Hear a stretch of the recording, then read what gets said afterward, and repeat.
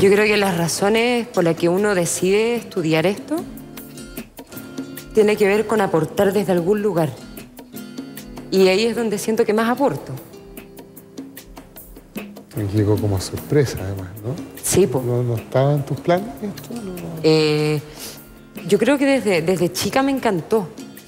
Yo no tenía ningún tipo de, de aprensión o de nervio o de pena hacia un niño con capacidad diferente. Al revés, me encantaban. Me encantaban. Yo me derrito por los down. Es una... Uh, me, muero de amor. Por los autistas, por los Asperger. Todos tienen una forma de, de vivir la vida que envidio. Y acá ella, la Miquela. Mira, pues ahí tenéis un ejemplo, tiene que haber más, ¿no es cierto? Pero el más sorprendente es que una niña pase por su crisis, que la aprenda a superar sola en el escenario.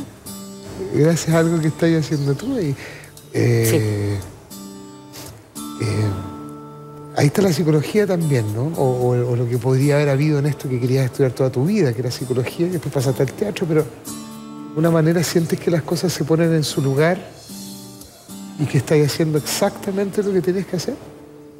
Sí. Es una manera de, de, de ayudar. po. Eh, hay cachado que siempre se dice que el, el teatro tiene una finalidad de, Terapéutica. de- no solo eh, si alguien va a ver el teatro, si alguien va a ver algo, si alguien ve una escena, todos queremos que a alguien se le modifique algo, no solo a uno, porque para uno efectivamente cumple muchos roles, pero uno necesita que también algo le pase a alguien. Pegarse una cachada, como decían mis viejos. Sí. Te pegaste la cachada. Y yo tengo una necesidad absoluta de ayudar. No, no me quedo tranquila si no ayudo. Es curioso y ellos también hacen